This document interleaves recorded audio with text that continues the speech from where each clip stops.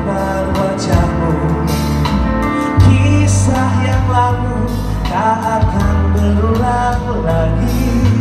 Lupakan saja cerita lama.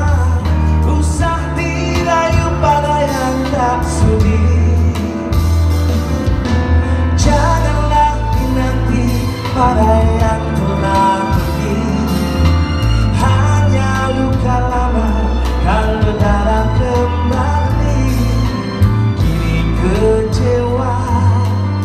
vida.